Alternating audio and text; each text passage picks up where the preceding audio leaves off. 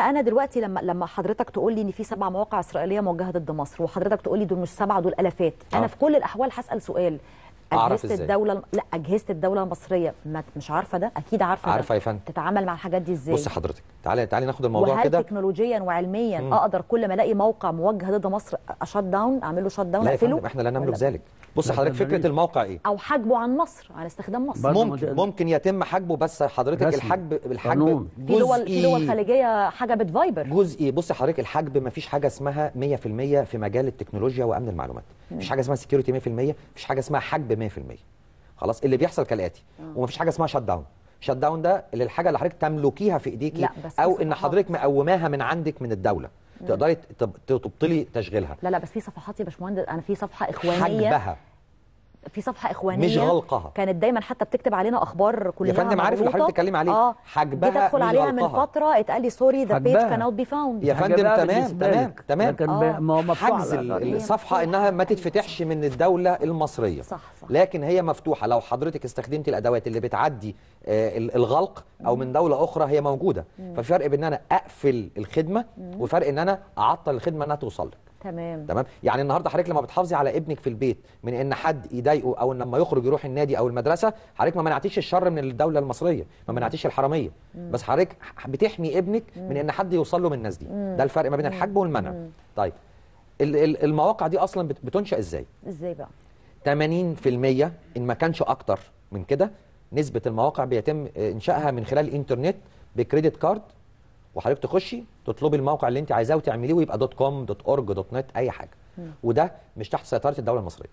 اللي تحت سيطرة سي- الدولة المصرية تحت سيطرة أي دولة في العالم؟ لا. أمريكا عليها سيط... عندها سيطرة على المواقع دي؟ يا فندم طبعا. طبعا يا فندم. لأن أصلا ال- الشركات المقدمة لل domains أو المواقع دي أيوة. آه في الأساس خالص المرجع الرئيسي بتاعها أمريكا. ال dot. في حاجة اسمها ال dot. هي dot com dot org لا dot- هو المقصود بعد ال dot com في dot تانية بس أنا مش عايز أخش في نواحي فنية بس ال domain أيوه. ال- الشركة الأم أو المكان هنقول مجازا في التعبير يعني أنا مش بقول ألفاظ فنية علشان الناس تفهم. الراعي الرسمي للموضوع ده أيوه. ال dot. ال dot دي هي مكان محصن مؤمن في أمريكا هو المسؤول عن ال الإنترنت in general في في, في, الإنتر- العالم. في العالم. بيوزع بعد كده مجموعة domains أو مواقع. لكل دولة حسب الامتداد بتاعها. لكن لو إحنا بنتكلم على dot eg ده من مصر. آه dot Egypt. وبيتم بورق رسمي. أو dot, dot com dot eg أو dot eg بس في dot com gov. dot gov. dot gov برضو آه. dot edu. في حاجات آه، كده آه. معينة educational و governmental والكلام ده آه. ده بيتم ب ب من مصر وبورق رسمي. وأنا على أنا شخصيا كوليد علشان أقدر آخد website يبقى dot com dot eg قدمت ورق وموافقات وختم نسر وحاجات كده بتتعمل يعني. حلو. فاللي أنا بقول لحضرتك ده اللي في في سيطرة كاملة. إن أنا أقدر النهارده موقع حضرتك في مشكلة هبعت للإدارة المختصة اللي انشات ال domain ده اللي هي المجلس الأعلى للجامعات في, أغلب الأحيان. وقفوا الموقع بتاع فلان ده بيبث أفكار معادية للدولة وبتأثر على الدولة. لكن لو .com من بره مصر أنا هعمل فيه إيه؟ فالمواقع دي ما تبقاش دوت كوم دوت اي جي تبقى من بره مصر. أوكي؟ طيب أنا خدت الموقع وعملت عليه اللي أنا عايزه. أنا كدولة مصرية في إيديا إيه أعمله؟ في إيديا إن أنا أوعي الناس في إيديا إن أنا أحجب الموقع. وليس منعه. هحجب الموقع ده. للناس العادية اللي زي حضرتك الناس اللي بتتعامل مع التكنولوجيا لمجرد إنها بتأدي بيها وظائف معينة تخلص بيها مهام وظيفتها. لكن الشاطرين و... أما- والهاكرز. آه، سيبك من الهاكرز بقى. أما الجيل الصغير من أول سن مثلا هنقول إيه رابعة وخمسة ابتدائي فالناس دي عارفة كويس قوي إزاي تعدي العوائق وتقدر توصل للحاجات دي. لأن أنا شفت أطفال في أولى وثانيه إعدادي بيخشوا على ال deep وال dark internet اللي هي النت المظلم الإنترنت المظلم. دي حتة كده كل اللي عليها حاجات آه، غير مشروعة. تجارة أعضاء تجارة مخدرات آه، استئجار قتلة آه، أي حاجة حضرتك تتخيليها يعني مش كويسة موجودة في الأماكن دي. لمجرد حب الاستطلاع مش لمجرد إن هم بيشاركوا يعني هم حب استطلاع طب والحاجات دي طالما الحاجات الغير مشروعة الدموية دي طالما موجودة على الإنترنت الحكومات مش الإنترنت مش العادية. مش الإنترنت بتاعتنا. أنا مش عايز أتوه حضرتك لا لا مش. توهان ثواني بس الإنترنت تلات الحكومات ما تقدرش تتابع ما الناس. تدخلش ليه؟ يعني الطفل اللي في رابعة ابتدائي بيعرف يا فندم، يدخل ال- ال- والحكومات لأ؟ الدارك إنترنت أيوة، ما. أقدرش أتتبع فيها شخص غير بنسبة 14% ممكن سؤال؟ آه. أنا عايزة أحارب تجارة الأعضاء أعضاء. آه. هو مش معلش خليك معايا. عايزة أحارب أو أكافح تجارة الأعضاء. تجارة غير مشروعه تجارة غير مشروعه تمام. خلاص؟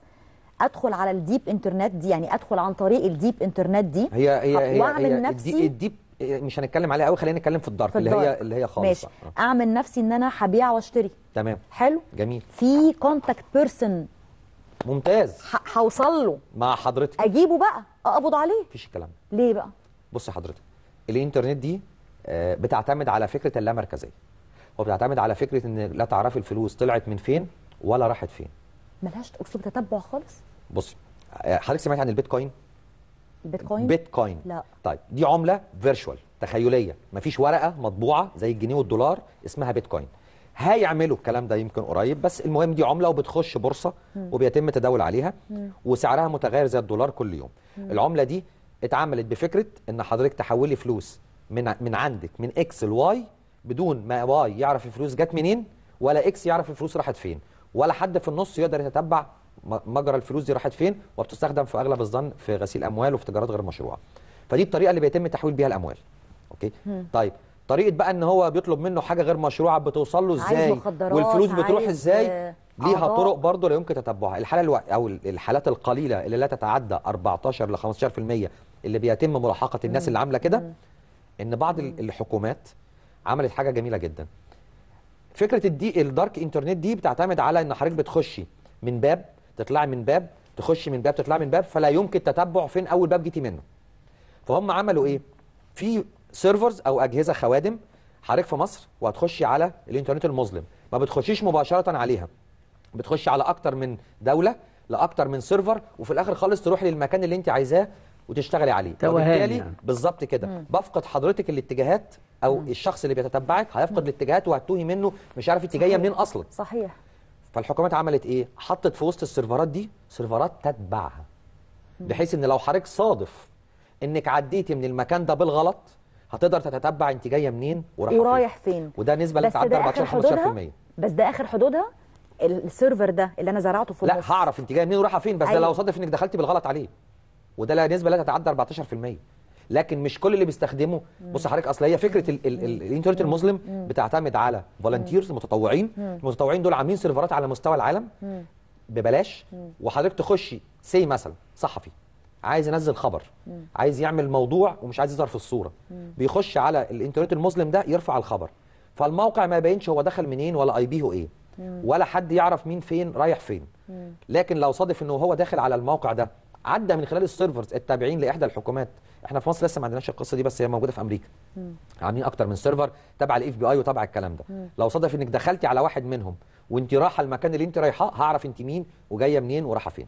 ودي نسبة ضئيلة بقول لحضرتك وده يساعدني كدولة لو أنا طلعت لا سمح الله عندي معلومة تهز تهز الأمن القومي. مم. كارثة مثلا. وإشاعة.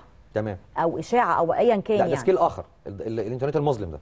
ده آه. حاجة تانية خالص في التجارة الغير مشروعة يمكنني- آه يعني التجارة غير المشروعه لازم تكون الحاجات اللي أنت حددتها لا دي بالظبط حاجات قوية آه، آه, كذا- بح- كذا. يعني يعني تليق ب FBI وتليق بالناس دي إنها تخش فيها تتدخل مش عشان post ي- مش post لو مم. لو حاجة بت...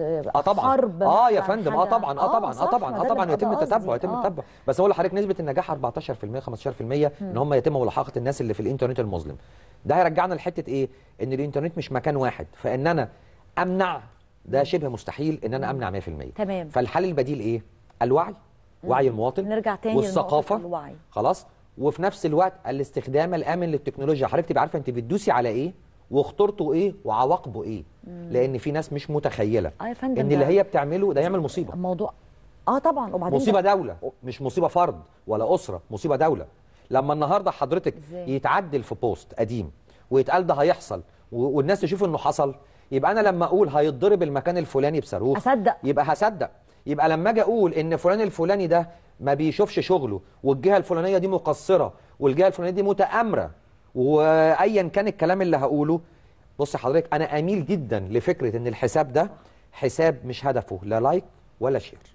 الحساب ده هدفه توجيه وتغيير قناعات الناس إن في تقصير من مكان ما. إن في حاجات هم عايزين يقولوها لسه جاية. دي كلها حروب. بصي حضرتك هم شاطرين جدا. الناس المعادية للدولة في الشغل التكنولوجي وأسرع مننا لأن كمان عندهم الفلوس أكتر بكتير فيقدر يشتري أجهزة متطورة يقدر يستخدم تكنولوجيا حديثة جدا ويستخدم بيها أساليب آه، شوية صعبة علينا عشان إحنا بنقوم البلد. حضرتك قلت كلمة في منتهى منتهى منتهى الخطورة لأن ممكن قوي حد يقول لك خلاص يعني سيبوها البنت ال- لو هي بنت فعلا يعني لو ده مش حساب مسروق حساب أو مزيف. كده أو حساب مزيف يعني. خلاص يا ده بوست على فيسبوك إيه يعني واحدة قالت هيحصل يوم الجمعة الجاية آه، حادثة في المكان الفلاني وحصل بالتفاصيل اللي هي كتبتها دي سيبوها. لكن لأ أبعاد الموضوع زي ما شرحها باشمهندس وليد في منتهى الخطورة. طبعا. ده معناه إن هم ممكن يسربوا أي معلومة بعد كده يقول لك الحق في كذا هيحصل.